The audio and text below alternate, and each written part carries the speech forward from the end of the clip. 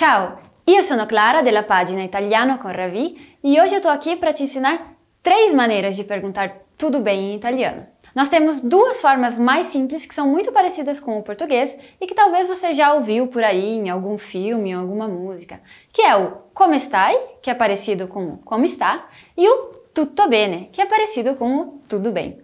Agora vamos às outras formas. A primeira é tutto a posto. Tutto a posto, que significa literalmente tudo no lugar. E é uma expressão bem informal que a gente usa quase como uma extensão do olá, do oi. Por exemplo, quando você cruza um amigo ou uma amiga no corredor da faculdade e diz Oi, tudo bem? Tchau, tudo a posto?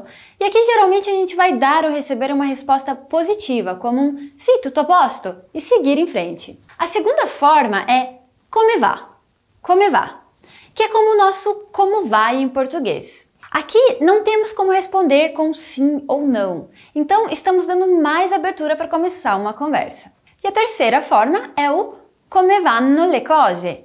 Come vanno le cose, que é uma variação do come va e corresponde ao nosso como vão as coisas. E vamos usar principalmente quando encontramos alguém que não vemos de repente há algum tempo e queremos saber as atualizações aí, um pouco das novidades. Então, Recapitulando, vimos três formas para perguntar para alguém como ele ou ela está. A primeira é tutto a posto? A segunda é come va? E por fim, come vanno le cose? Um caro saluto! Ciao ciao!